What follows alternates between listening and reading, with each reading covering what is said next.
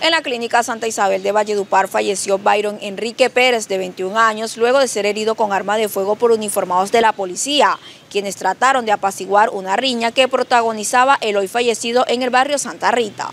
En la clínica Santa Isabel de Valledupar falleció un joven de 21 años que fue neutralizado por agentes de la policía cuando intentó agredirlo con un objeto cortopunzante en el barrio Santa Rita. Este caso ocurrió el pasado 13 de noviembre en la terraza de una vivienda ubicada en la calle 25, número 4H54 del mencionado sector. Según el reporte emitido por la Oficina de Comunicaciones Estratégicas de la Policía del Cesar, miembros de la Fuerza Pública acudieron al lugar en mención, luego del llamado de la ciudadanía que informó de una riña entre varias personas, una de ellas identificada como Byron Enrique Pérez Vázquez. Al ver la presencia policial intentó atacar a uno de los uniformados, quien se defendió disparándole sobre su humanidad.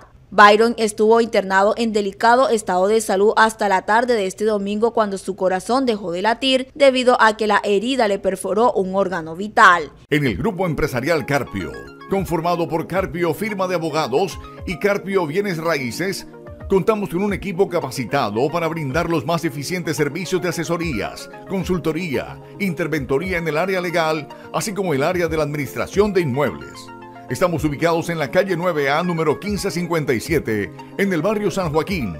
Contáctanos al 316-666-1017.